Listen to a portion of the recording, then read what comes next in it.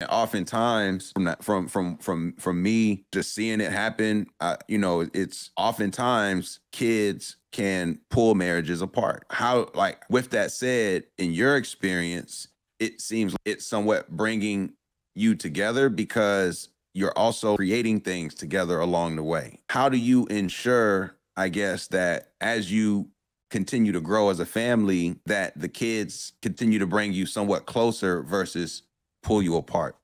well, I'll say it's us versus them. like, this my road dog, yo. Sure. We can't survive out here without each other. The kids will drive us crazy. Yeah. I need her. so right. it's like it's us versus them. And sometimes they're winning. We gotta we gotta have each other's back. I would say if anything, that's what's getting us even closer. Is we got two whippersnappers who are just plotting on how to take us down. So that's one. But the the two, and this is like on a more serious note, the way our kids are built, they need two parents, right? Like the like Ooh, the, yes. it's just like how they talk, how they interact. I they don't act folks that like could survive in a one parent household or have like they would drive that families. parent crazy if it was mm-hmm. two uh two kids to one parent. Yes, that's why we are two and done. They need a lot of attention. You know, I don't know if it's the world we're living in, just their their personality. I, I, I commend the single parents. I don't want to be one, and I know it's hard. You know, I've I've seen that with my mom growing up. What do we do? We we work on projects and things together. I know we'll talk about the book in a few minutes, but um, working on projects together is something that we can find joy in doing and investing in a babysitter, you know, investing in some things that we can have a date, you know, Fridays, you know, we have it's date night, but it's really in the house. It's not we're going out every Friday, um, but we do have that allotted time. Um, there's also an app called the Paired app, and we answer questions every single day. The app comes up with questions, and this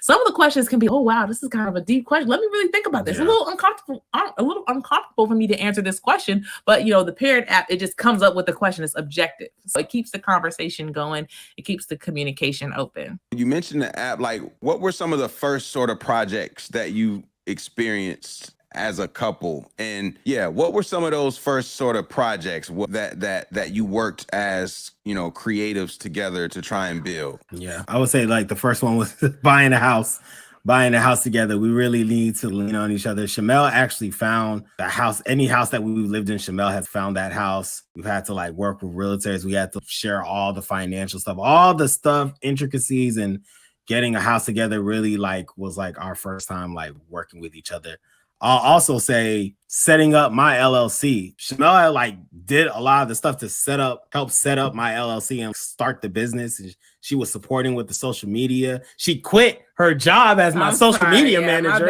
Whatever, neither here nor there. For another day.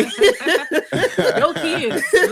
yeah. And, and and what is the what what so, is the LLC? Uh, what type of business is it? Heroes for Hire is a organization. It's a business that supports social entrepreneurs to take their ideas and turn them into fully functional nonprofit organizations. Have an idea, you talk with me, and we set up your 501c3, we set up your articles of incorporation, all the intricate paperwork that can seem complex and annoying, like we take care of it for you. Shamelle, it was an idea that I had, and if it weren't for Shamelle, it wouldn't have actually become a business that's been going on for like since 2016. Yeah, since 2016.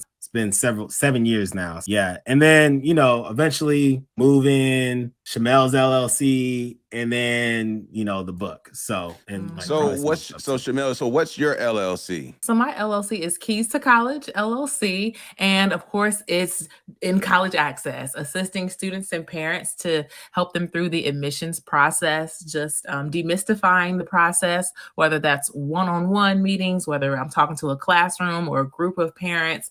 I love being able to just break down the process of college admissions. I've been doing that for a long time, even when I was in high school. I just thought that, hey, might as well make a business out of it because it's my passion. You you have the entrepreneurial sort of mindset there. Where did that come from for you to say, hey, you that idea, let's turn it into a LLC? And, oh, okay, now I got this.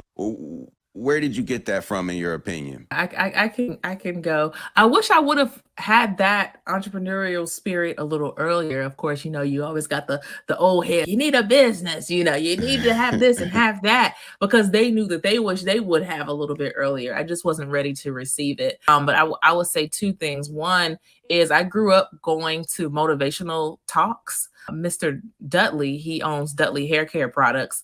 My mother used to take me to well, she was going for herself, but I was coming along with her every Thursday. You know, he's an entrepreneur. He's always talking about business and, and, and things of that nature. Some things I caught on, some things I was just playing with my toys, but I some of the things did seep in. And then also what made me want to just go ahead and go for it was I was listening to this book, um, audiobook called Outliers by Malcolm Gladwell. And one of the things that he says is after you've been doing something for 10 years, you are an expert. At that point of me starting Keys to College, I had been in college access for 10 years. Felt like I had the confidence, you know, and the knowledge and experience to be able to share that. And doing the paperwork was quite easy. It's the maintaining it that that is something, but just doing the paperwork for the LLC was was was quite easy, and then the social media that that part was fun. Um, but still, I know just being a business owner is is not easy. I'm still still learning. Yeah, second person and for me it was uh, outliers on the podcast. By the way, second person to mention that specific book.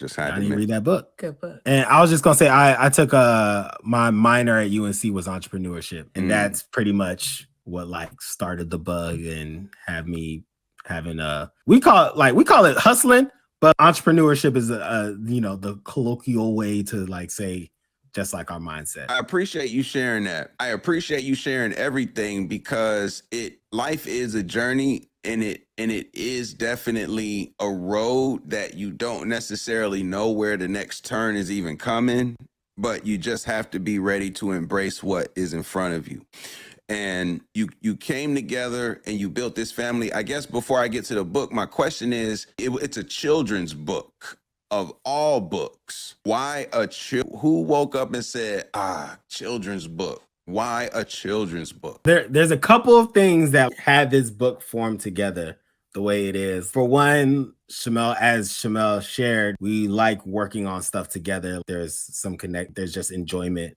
for us working together on specific activities, especially one that can generate additional revenue into the household. Even aside from that, we love books. We got a whole bunch of books in this house, a whole bunch. I read a lot as a kid. I'm sure Shamelle did as well. And we have a lot of books. We read to our kids all the time. They have an abundant amount of books. But one thing we noticed was as we were reading books to our kids, it wasn't really a book book on getting to college, on the path to go to college. There was books about college is great and there, you know, stuff like that. But there weren't really books about the journey to get to college. And Shamelle will say this better than me because she was like, she kind of just shared, I'm good at college access. She is the GOAT when it comes to college access. and like, there's nobody, she knows she is a guru. She is the greatest of all time when it comes to college access. Like, yeah, yeah, get away from the get away from the camera. She is amazing when it comes down to it. Like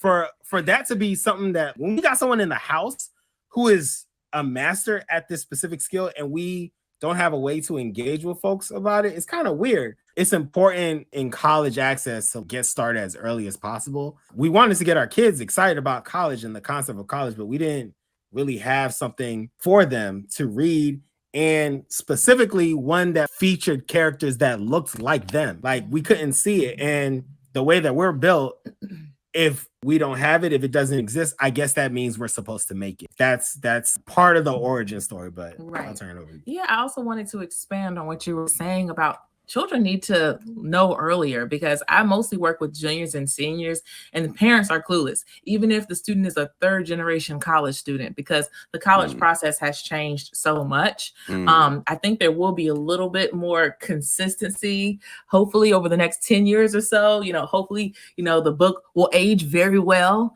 Um, there are certain things that we were intentional about. Oh, you got volume two, three, four, and five on the way. yeah.